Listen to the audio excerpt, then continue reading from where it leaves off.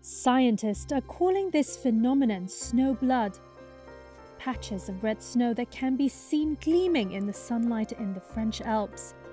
Locals say it's becoming more and more prominent in early summer.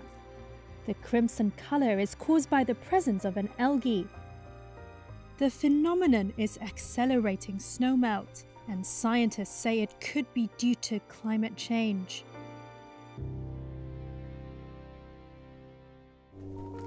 Eric Marichal and his team from Grenoble's Scientific Research National Center are collecting samples of the algae on Le Brevant mountain.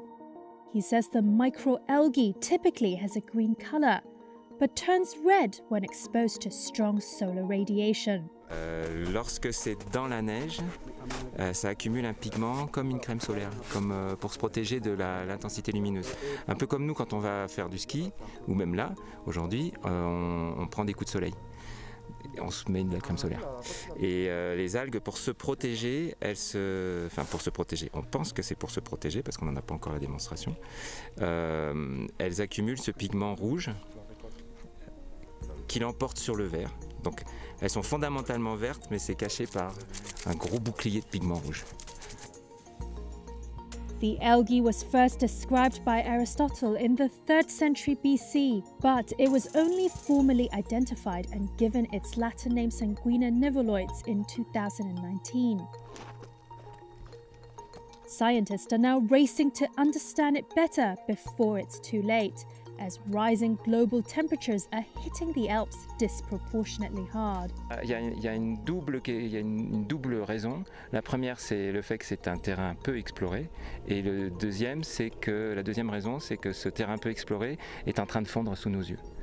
Donc on a une forme d'urgence. Donc il faut qu'on déploie très vite des moyens pour pouvoir collecter euh, des échantillons, c'est ce qu'on fait là aujourd'hui, et puis euh, les, étudier, euh, les étudier avec tous les moyens modernes qui existent en biologie. Some scientists say the volumes of algae appear to be growing due to climate change, with higher carbon dioxide concentrations in the atmosphere favoring blooms. Alberto Amato is a genetic engineering researcher at CIE Centre de Grenoble. Euh, ce qu'on sait aussi, c'est que euh, euh, au fur et à mesure du temps, du coup, quand le, la, le CO2 a augmenté dans l'atmosphère, on retrouve toujours plus souvent des, neiges rouges. Du coup, voilà, c'est sûrement lié au réchauffement climatique. Et euh, plus ça réchauffe, plus il y a d'algues, plus la neige fond rapidement. Du coup, c'est un peu un cercle vicieux euh, et on cherche à comprendre euh, exactement tous les mécanismes qui produisent ce cercle pour éventuellement euh, faire quelque chose.